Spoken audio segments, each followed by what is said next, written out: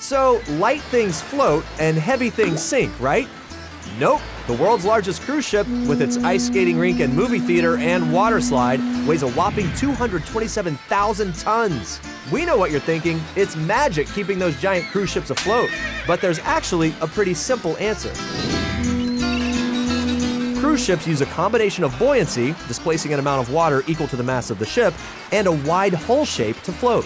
When a cruise ship sails across the ocean, it is pushing massive amounts of water out of the way. The displaced water is constantly trying to return to its original place, forcing the ship back upward. And the hull? It's very wide and shaped like a U. That's why an extra strength steel cruise ship will float across the ocean, while a small bar of solid steel sinks to the sea floor.